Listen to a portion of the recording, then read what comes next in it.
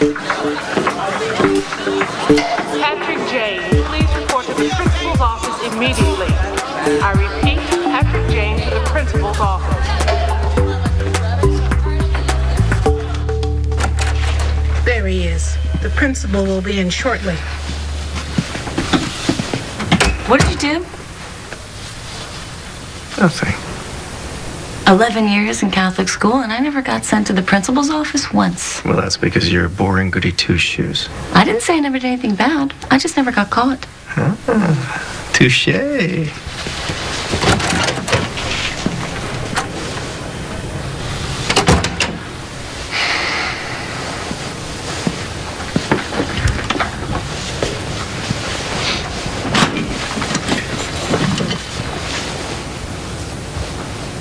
It has come to my attention that Mr. Jane here performed an act of vandalism in the second floor boys' restroom.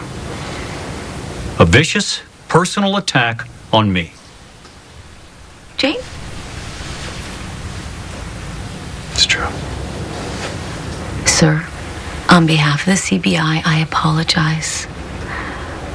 I appreciate that. Mr. Jane,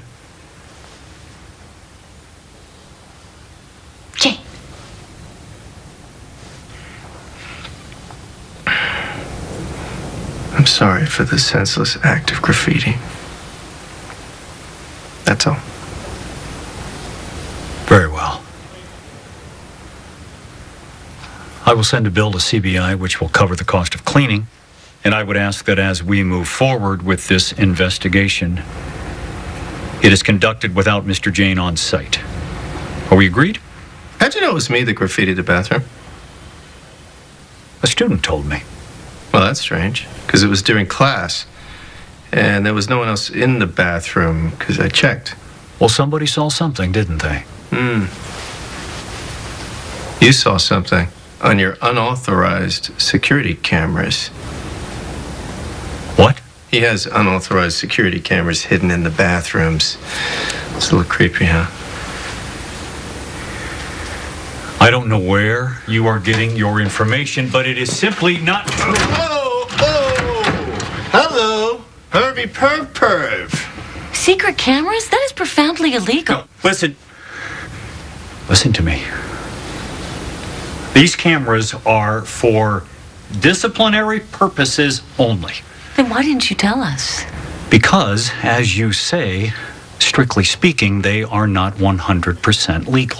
Mm-hmm. Principal Snyder, if you're withholding evidence from this investigation, we've got a serious problem. And the PTA and the ACLU and all those other acronyms, they're gonna have a host of problems with you, pal. I wouldn't think of withholding evidence. I'm not an idiot.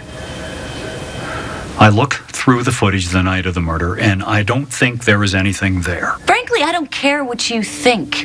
I want all the footage now. All right, I understand. Agent Lisbon, could I ask that we keep this discreet?